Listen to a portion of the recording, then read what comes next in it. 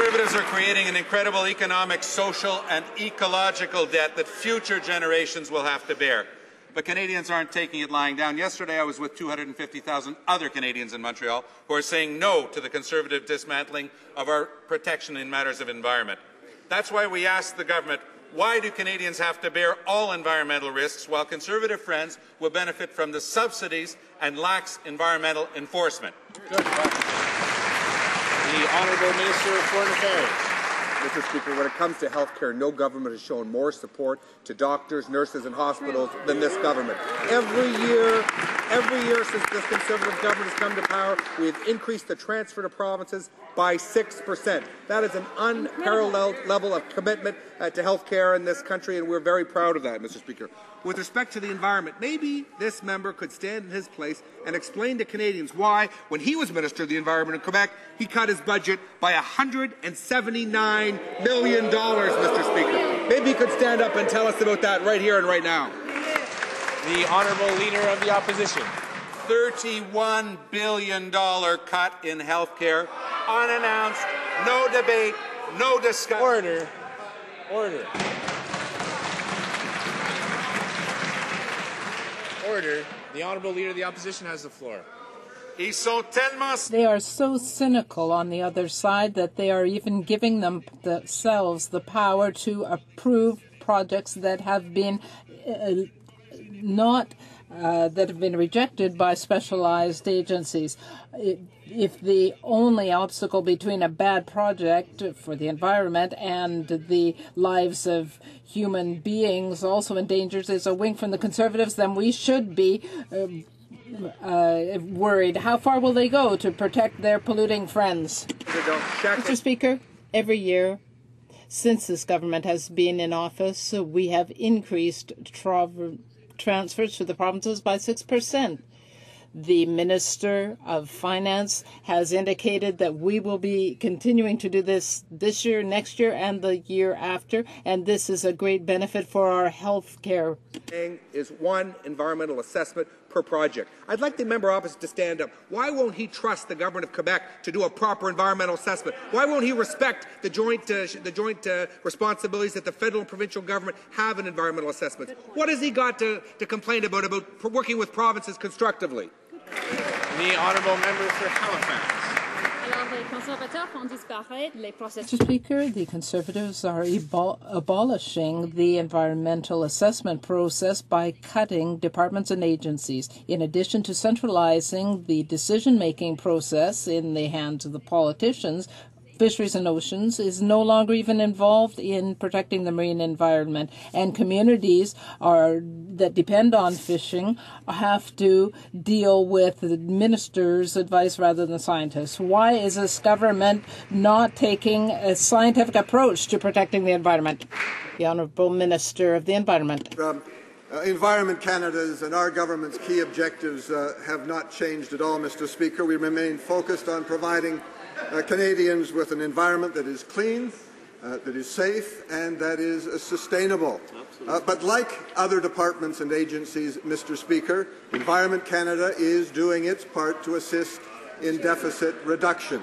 And we'll do this by streamlining our operations and by eliminating or reducing low-performing programs that do not contribute directly uh, to the department's mandate. The honourable member for Halifax. glad to see the Minister of Natural Resources has passed along his speaking notes to the Minister of Environment.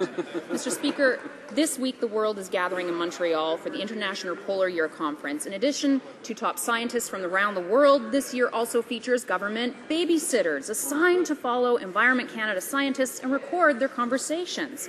1984 or 2012. Why is the minister putting a gag order on Canadian scientists? Excellent question. The Honourable Minister of the Environment. Well, Mr. Speaker, uh, Environment Canada will be sending between 30 and 40 scientists uh, to the Montreal conference. They'll be involved in uh, the presentation of papers and question and answer periods, which the media will attend. Um, but there's nothing new in this email that was sent uh, to attendees. Uh, it is established practice to coordinate uh, media availability. In fact, many of our younger scientists, um, Mr. Speaker, actually seek advice from our departmental communications staff. Uh, where we run into problems is when journalists try to lead scientists away from science and into policy matters. And of course, Mr. Speaker, uh, when it comes to policy, ministers address those issues. Member for Wascana. Member for Etobicoke North.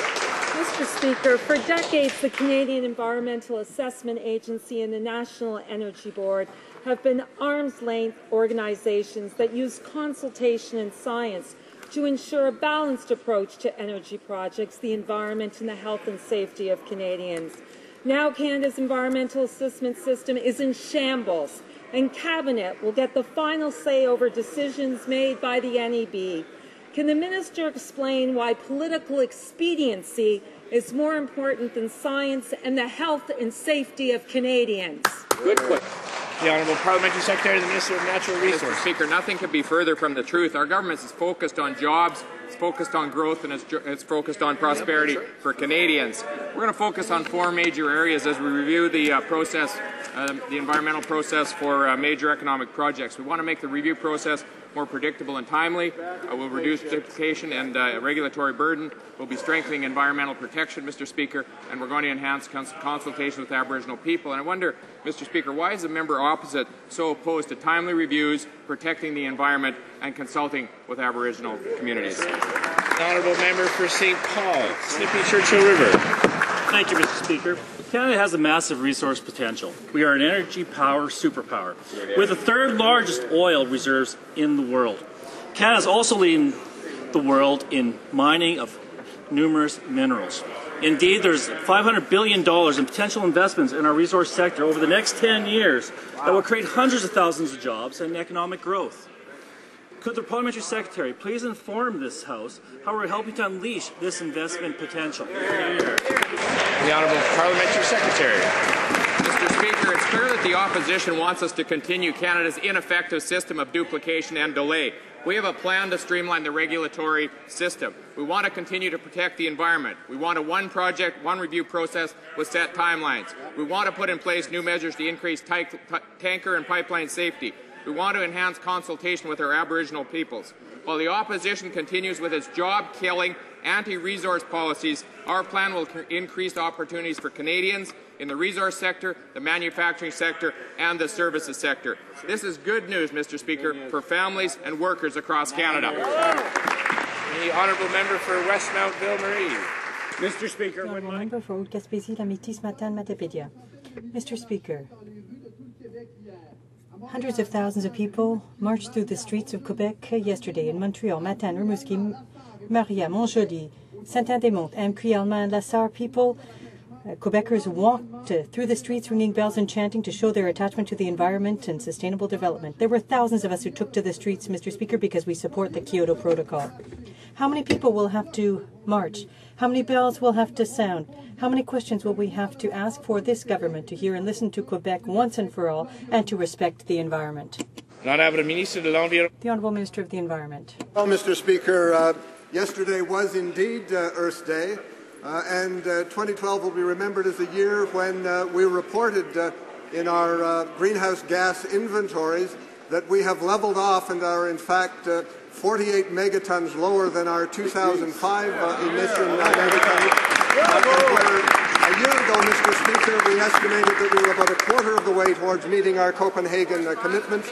Uh, we are now well past that and, uh, and moving towards uh, fulfillment of our goals. Good. That concludes question period for today.